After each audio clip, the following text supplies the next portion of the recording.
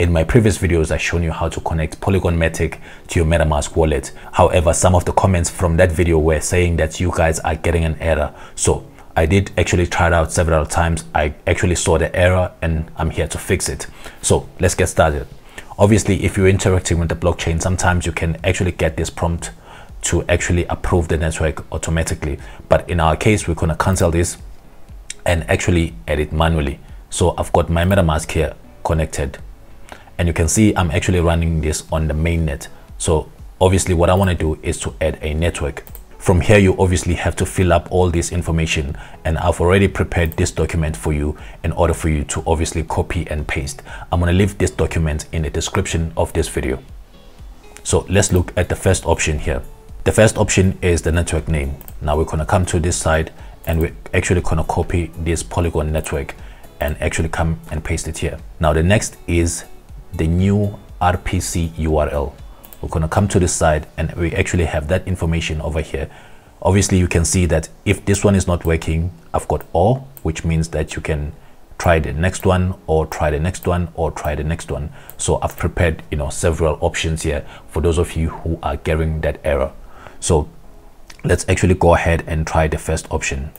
I'm going to copy this and actually paste it here. Now the next one is the chain ID. We can actually see that the chain ID is actually 137. No need to copy and paste that. We can just say 137. Now this is obviously optional, but we actually have this kind of information. The currency symbol is Matic. now the block explorer url i'm gonna come here and actually copy this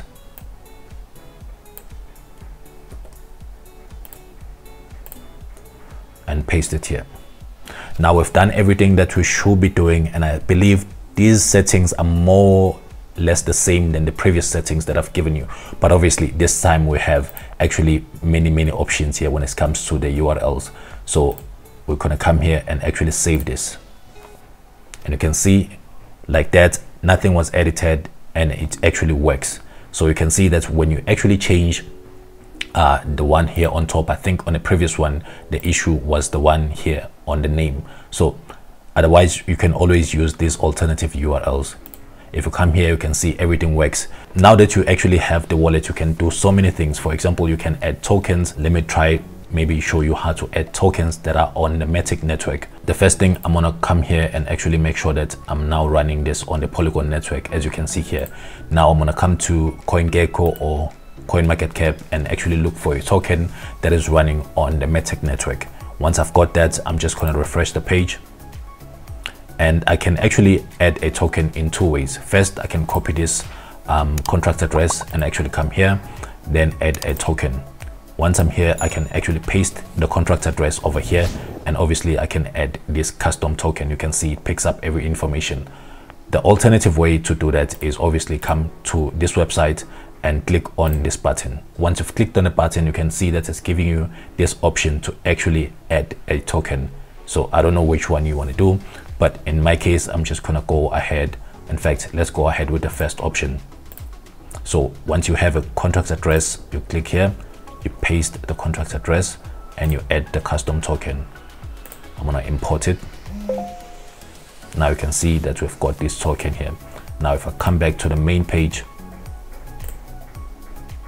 you can see the token is actually added here so now let's go ahead and maybe deposit funds to this address to do that you actually come here and copy this and actually go to your preferred method of transactions.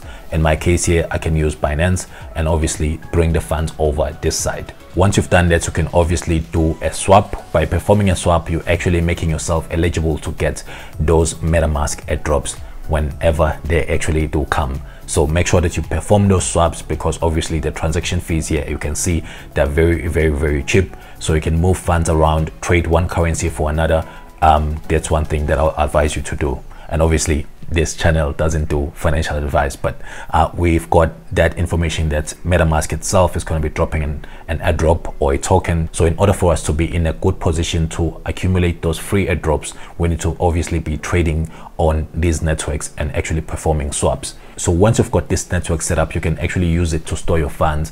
And most importantly, you can actually use it to interact with DeFi protocols. So to do that, you can obviously come to the protocol of your choice. Uh, make sure that that protocol is actually running on the Polygon network. You can see here, I'm running this on the Polygon network and you can actually connect the wallet that will actually give you options. But in our case here we know that we want to connect metamask because that's the wallet that we just installed. So i'm going to click on metamask. And now we actually have to give permission for metamask to interact with the smart contract or with this defi protocol. So i'm going to click on next and accept. And now that my wallet is now connected i can obviously come here and start staking buy tokens and obviously do something called yield farming. As you can see we've got insane amount of apys here. About 3164 apy uh, obviously it really really is risky and i've covered that on a separate videos. If you actually want to know how to get free cryptocurrencies in the form of airdrop i've got a playlist showing up on the screen right now that will really help you uh, guide you step by step on how to get your free airdrops. So go ahead and click on that. I'll see you there. Goodbye for now. Peace